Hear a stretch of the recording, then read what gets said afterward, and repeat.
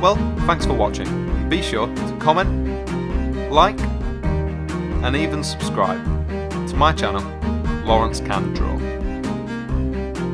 And if you really did like what you saw here, you can see more of it on my website, lawrencemann.co.uk. I'll see you next time.